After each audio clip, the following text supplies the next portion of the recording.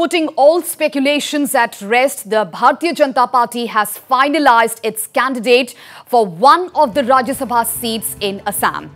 While following approval of the party's central leadership, name of former Lok Sabha MP Kamakhya Prasad Tasa was proposed in the joint legislature party meeting of the BJP and its key alliance partner, the Asom Gana Parishad.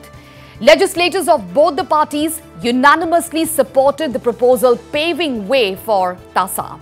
The joint legislature party meeting was presided over by Chief Minister Sarbananda Sonowal, where BJP top gun Himanta Biswa Sarma, along with other party leaders, were present.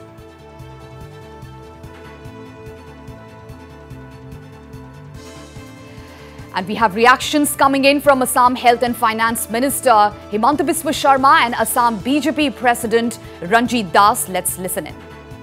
ভাৰতীয় জনতা পাৰ্টীয়ে আমাৰ ৰাজ্যসভাৰ আসনখনৰ বাবে প্ৰাক্তন সংসদ কামাখ্যা প্ৰসাদ তাছা ডাঙৰীয়াক প্ৰস্তাৱ কৰিছে আৰু অহাকালি কামাখ্যা তাছা ডাঙৰীয়াই তেখেতৰ মনোনয়ন দাখিল কৰিব আৰু দ্বিতীয়খন আসন আগতে কোৱাৰ দৰে অসম গণ পৰিষদ দলক আমি সমৰ্থন কৰিম আৰু তেওঁলোকে বীৰেন্দ্ৰ প্ৰসাদ বৈশ্যক মনোনীত কৰিছে। আৰু ইয়াৰ লগে লগে অসমৰ মেডিয়াত ইমান দিন বাহিৰৰ পৰা প্ৰাৰ্থী আহিব বুলি যিটো এটা এটা ষড়যন্ত্ৰমূলকভাৱে চৰ্চা চলোৱা হৈছিল সেইটো অসত্য বুলি প্ৰমাণ হ'ল। আমি আগতে কৈছিলোঁ যে Bharatiya Janata Party party with defence আৰু সেই কথাষাৰি আজি প্ৰমাণ হ'ল।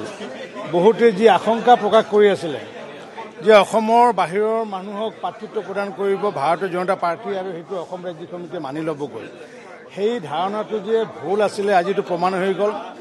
আমাৰ অসমৰে এগৰাকী ব্যক্তিক যিগৰাকী ব্যক্তি নেকি আগতো সাংসদ হিচাপে আছিলে সেইগৰাকী আমাৰ কামাখ্যা প্ৰসাদ তাছা ডাঙৰীয়াক প্ৰাৰ্থিত্ব প্ৰদান কৰাৰ কাৰণে আমি ভাৰতীয় জনতা পাৰ্টীৰ ৰাষ্ট্ৰীয় সমিতিক বিশেষকৈ মই মাননীয় প্ৰধানমন্ত্ৰী মোদী ডাঙৰীয়া আৰু ৰাষ্ট্ৰীয় সভাপতি অমিত শ্বাহ ডাঙৰীয়াক আন্তৰিক ধন্যবাদ জনাইছোঁ যে আমাৰ যি মনৰ কথা আছিলে মনৰ যি আশা আছিলে সেই আশা তেওঁলোকে পূৰণ কৰিছে